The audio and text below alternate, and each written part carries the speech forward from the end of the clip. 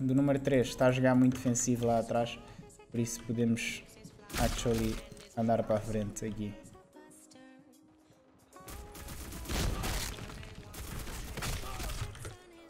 Vocês estão a ver, isto é uma cena que eu gosto muito de fazer em todos os jogos, que é analisar o que é que vos está a correr mal e porque é que vos está a correr What up my people, bem-vindos ao canal Easy Life Gaming, hoje iremos fazer algo um pouco diferente Decidi voltar ao Black Squad, não voltar completamente, mas apeteceu-me jogar um competitivo, já não jogo há imenso tempo, vamos ver como é que isto corre Estou um, um bocado doente, então peço desculpa se estiver a tossir muito no meio da partida mas é isso aí, pessoal. Também não sei se realmente consigo gravar com estas settings. Antes costumava jogar com as settings no baixo, agora estão em médio. Uh, vamos ver como é que o jogo corre. Vocês já sabem como é que é aqui comigo, vai ser só no rush. Ok, I see you. I see you, bitch. Ah, quebrão. Tentei acertar um antep, não estava à espera que ele rushasse. Ele rushou e acabou por matar. Também estou a jogar com uma resolução diferente.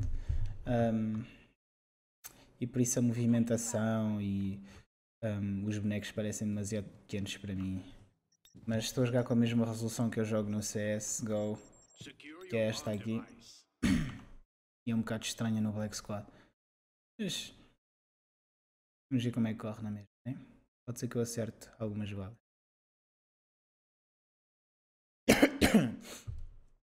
Ai ai ai. Vamos ver este guia. Nós temos um jogador AFK, por isso está 1 um para 1, um, situação de 1 um para 1. Um. Vou, vou tentar fazer aqui um comentário. Não tenho água ao meu lado, mas vou tentar continuar a falar enquanto jogo. Uh, enquanto jogo, queria dizer. Guia acaba de apanhar o C4. Uh, acontece que quando apanhas o C4 neste jogo fazes barulho, por isso o adversário provavelmente já sabe onde é que ele está a jogar. Entretanto, o Sly acabou de reconectar e está a andar no shift atrás dele. É possível que o jogador adversário tenha rodado para o B. Agora que ele começa a plantar, cheira-me que vai aparecer. Não. Foi o que eu disse. Cheirava-me que ia aparecer e ele apareceu. Vamos fazer agora vai ser eh, provavelmente ruxar a sala ou talvez ruxar o set. Não sei. Sinceramente não sei. Eu nem sei jogar este mapa. Um... que eu vou fazer? Acho que vai ser tirar aqui uma granada, mirar lá para a frente. Não ninguém. Ok, eles decidiram-se. Quem é que se... Um de nós smocou alguma coisa, acho que foi esta entrada.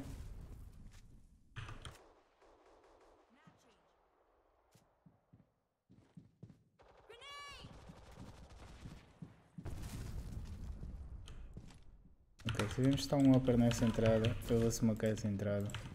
E vamos passar para esta entrada aqui. Estava um gajo nas nossas costas. Há um gajo nas ventas, já deve ter dropado. Não? Deu um matchup. Fazia ideia se ele tinha dropado ou não. Eles querem ir B. Por mim é pelo set, porque eu acho que vai estar aqui um upper. Ah, agora já não está essa amostra. Ok. Vou tirar mais uma smoke mais para a frente. E vou... What the fuck, isto está diferente. Tá? Dá para correr por aqui? Dá. Não está aqui ninguém. Deve estar ali na conexão. Já sabia que estavam na conexão, pelo menos. Dois na conexão. Há um gajo na base. Matei da base. O último está a vir de trás. Matei. Bem, 4 kills numa ronda, nada mal, né? Para quem fez 0 kills em duas. Esta ronda não foi nada mal. Vamos lá. Tentar ganhar este jogo. No mapa que eu não jogo. Acho que podemos fazer o mesmo. Estes gajos querem fazer fake Estão com um monte de estratégias, etc. Pá, não sei.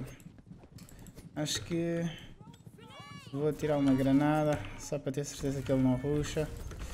Se ele smocou aqui a entrada, não smocou. Vou tentar picar. Andar no xisto para ele não ouvir. Quando ele se mostrar. Vai aqui um antepper.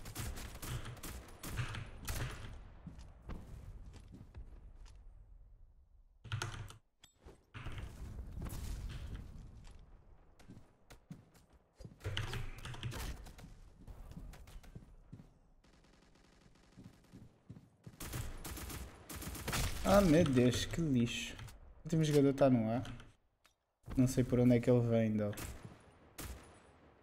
Que entrada? Ah! Ok, eu vou perseguir o gajo.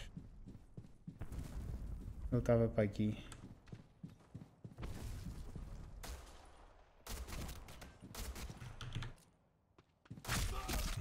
Falhei tudo! Impressionante! Falhei todas as eagles. Ai ai.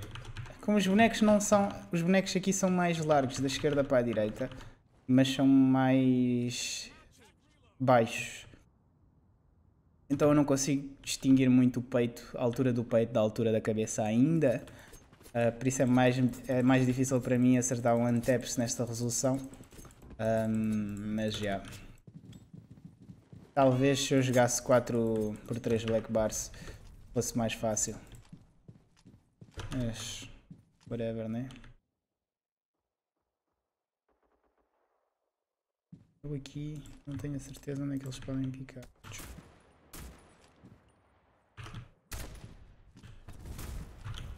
Vamos smocar esta entrada.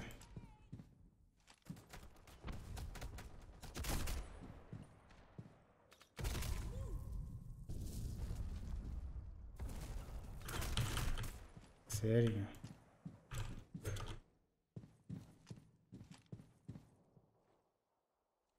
Não dá para saltar aí para cima. Como é que não dá para saltar em cima daquela merda, meu? Ela é muito bom para se jogar em stretched. Eu antes jogava 16 por 9. Eu acho que este jogo é melhor para se jogar uh, 16 por 9 ou 16 por 10. Uh, Black Bars. Jogar stretched é, parece-me ser muito horrível. Pelo menos para quem é jogador de dar um anteps que eles mexem-se muito rápido da esquerda para a direita e para além de se mexerem muito rápido da esquerda para a direita, são mais baixos. E pela, pela forma que funciona aqui a movimentação e as hitboxes, parece muito mais difícil acertar balas na cabeça com esta resolução. Quase. Se ele não tivesse a mudar de faca para arma e arma para faca, eh, talvez ganhasse esta ronda. Mas como este é o jogo dos maus hábitos. Ou o jogo dos hábitos desnecessários. Especialmente nestes ranks aqui mais baixos. Uh, existe muita gente com hábitos uh, estúpidos. Por isso uma dica para vocês, se vocês tiverem o hábito de mudar para fa de faca para arma e fazerem isto muito no meio da ronda, um, não o façam. Já sabemos que o jogador do, não sei o número, do número 3 está a jogar muito defensivo lá atrás, por isso podemos actually andar para a frente aqui. E avançar.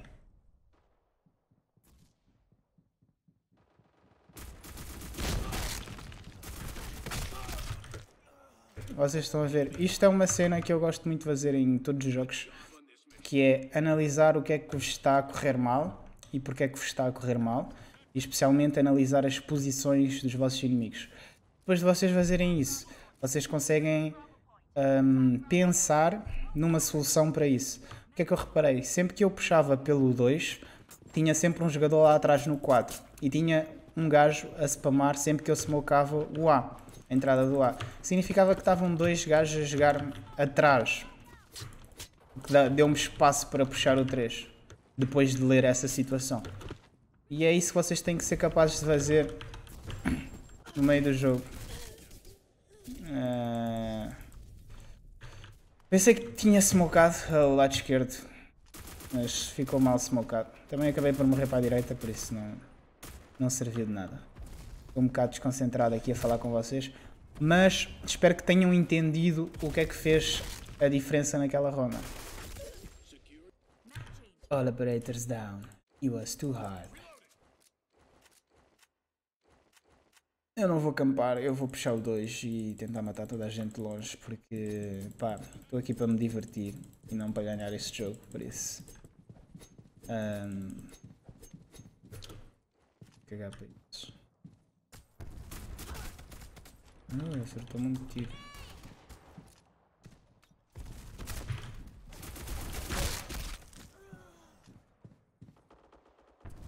Entrou aqui tentar ir por trás deles.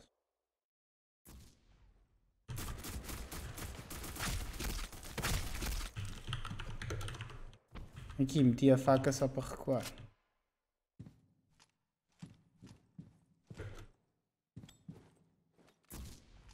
Que está? Uma pergunta. Será que eu vou estar no 3? ah, estou quase a morrer. Há um 3 agora. Para.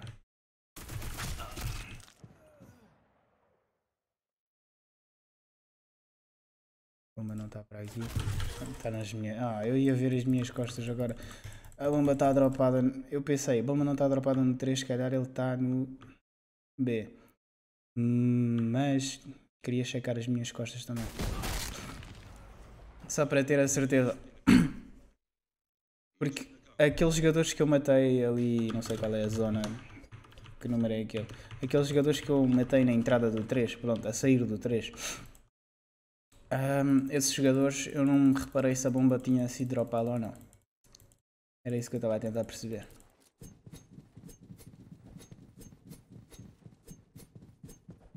Vamos tentar fazer o meu clipe. Aquele one tap bem crazy. Não, falhei.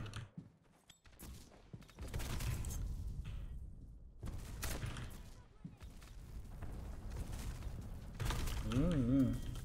LOL, veio. Ai ai. Este jogo irrita-me de tal forma. Especialmente já me lembro porque é que eu parei de jogar isto. Não, lembro.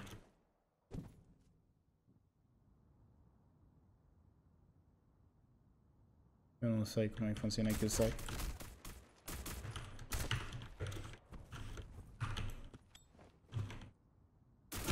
O quê? Como é que isso não foi na cabeça? Ai ai.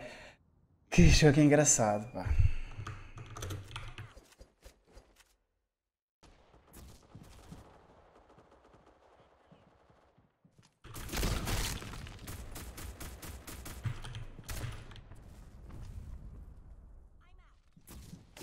Claro, mano. Ai, ai. Hum. Isso não dava para falar. Eu me esqueci disso. Não sei como é que eu estou com o maior número de frags da minha equipa, mas pronto. O que importa é que estou, né? Vamos lá ganhar isto. Mentira. É só chegar até aos 8. É só chegar até aos 8. Eu vou já matar toda a gente.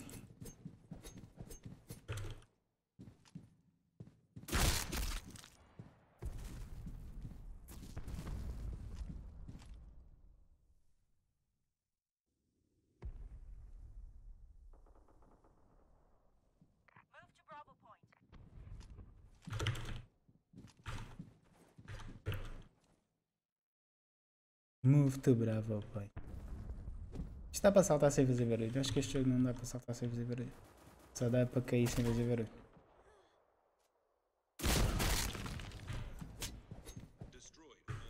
Epá, eu podia ter picado logo, mostrado-me logo para dar a trade e ajudar ele a não morrer, né? Mas a cena é que a ronda passava muito por mim e não por ele. É tipo, se ele já, naquela situação em específico, se eles encontraram ele, lutaram com ele durante algum tempo se fosse logo one tap, eles talvez ainda, ainda estivessem preocupados com as costas. Mas o facto de eu não ter aparecido ali, depois de tanto tempo de luta, faz eles pensarem: hum, talvez não está aqui mais ninguém. E era isso que eu queria tentar que fosse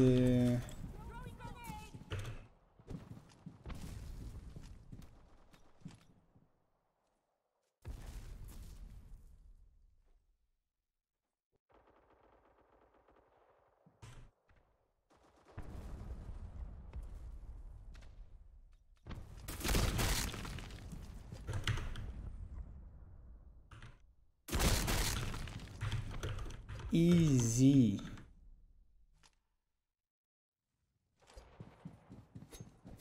Bem, carreguei esta ronda.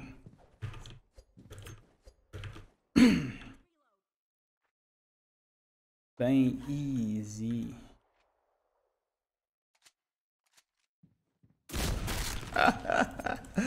ah, esta ronda foi engraçada, por acaso. Pá, pessoal, espero que vocês tenham gostado. Se vocês gostaram deste episódio, se vocês querem ver mais competitivos meus, deixem o vosso like aí em baixo. Vou tentar dar-vos uma dica e enquanto chegamos todos a divertir-me uma beca, porque já não jogo isto há muito tempo mesmo. Vejo no próximo episódio. Easy out.